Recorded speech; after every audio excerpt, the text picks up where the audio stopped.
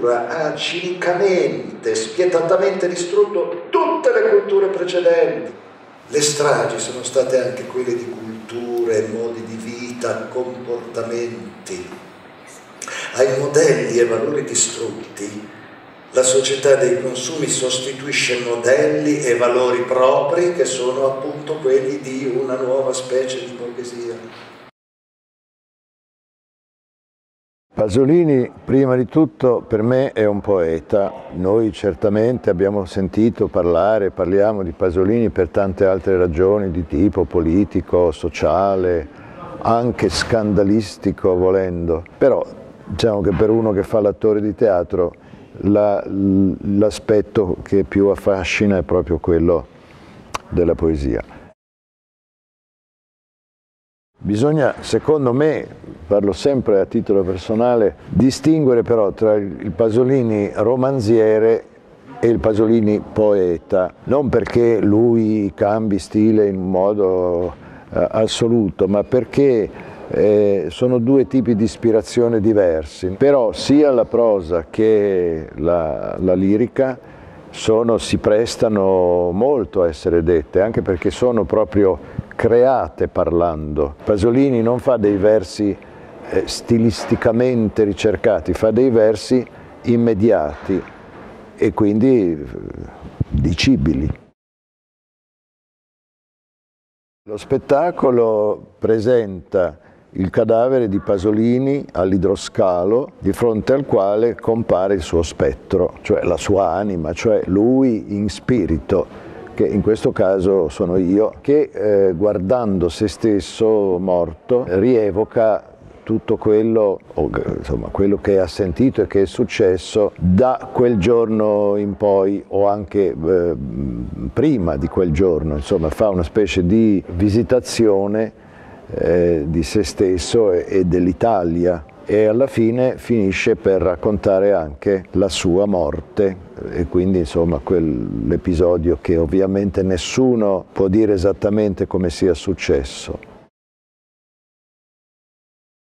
Per ricreare la spontaneità bisogna farlo non naturalmente, non direttamente, bisogna ricostruire su se stessi il meccanismo fisico col quale si parla, si respira, si emettono le, la, la voce, le parole e riuscire in qualche modo a sembrare naturale, ma è un sembrare. In teatro è tutto un sembrare.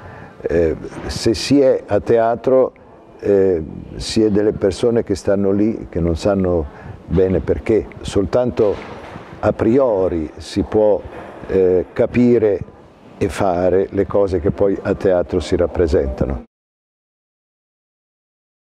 Ma devo dire, come peraltro dico sempre ogni volta che me lo chiedono, che il mio più grande insegnamento l'ho avuto proprio da Orazio Costa, che è stato il mio primo e massimo maestro, che mi ha fatto capire proprio la necessità di eh, fare di se stessi uno strumento per poter poi suonare la musica che si vuole suonare, perché se no da sola mm, può uscire per caso, ma invece noi dobbiamo essere padroni, totalmente padroni della tecnica per usarla e, e, e annullarla in qualche modo. Mi ha fatto capire quanto si deve anche eh, faticare per arrivare veramente a qualcosa di più, come dire, assoluto. Questo è tutto sommato un insegnamento che vale credo proprio per tutti, ma chi lo ha ricevuto da un maestro lo ha capito di più e quindi è più difficile che lo dimentichi.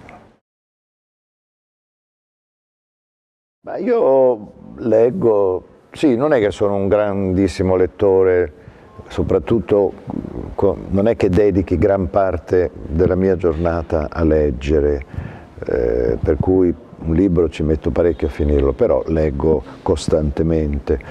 Quanto riguarda prodotti di teatro, ne leggo abbastanza perché me li spediscono, me li propongono. Io faccio sempre questa eh, obiezione agli autori, sempre, molto spesso, quasi sempre, questa obiezione che gli manca un linguaggio cioè sono storie magari credibili, personaggi che ci sono, ma si esprimono in un modo che non ha una sua evidenza, diciamo pure stilistica, il che non significa che debbano essere che debba essere un linguaggio raffinato, anzi può essere anche un linguaggio da, da coatti, ma purché sia una necessità dell'autore. Di, difatti tutti i classici si sono inventati un modo di esprimersi.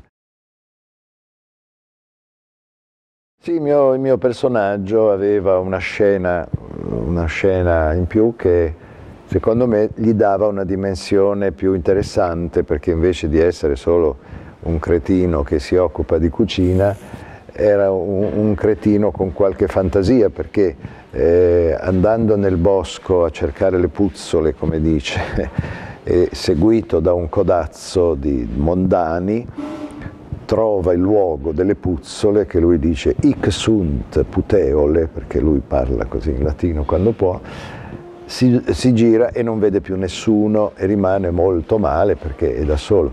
E sente un canto da lontano e vede una donna vestita di veli che canta una canzone dolcissima, canzone d'amore. E lui rimane, rimane insomma, stupito e rapito da questa cosa.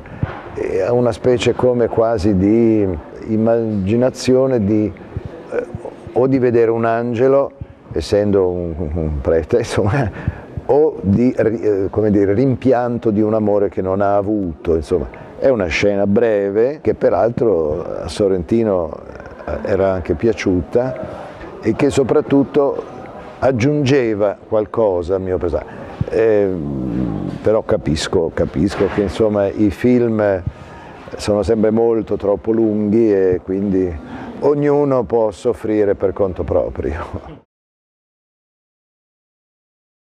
Mi ricordo il coniglio alla Ligure che bisogna spezzarlo in tanti pezzi, poi la cucina è proprio non la frequento, quindi non, eh, ci vogliono, so che ci vogliono le olive taggiasche, eh, mi raccomando, ecce coniglio alla Ligure, infatti poi dicevo ecce Ic sunt putidule, le, le, puz, le, puzzole, insomma in latino, tradotte in putidule, et, ic sunt putidule, ecce con la lingua. Grazie a voi dell'attenzione, vi faccio tutti i miei migliori auguri di buon lavoro e spero eh, di vedervi, oppure che voi vediate me, ecco, insomma, di vederci. Ciao ciao. Ciao ciao.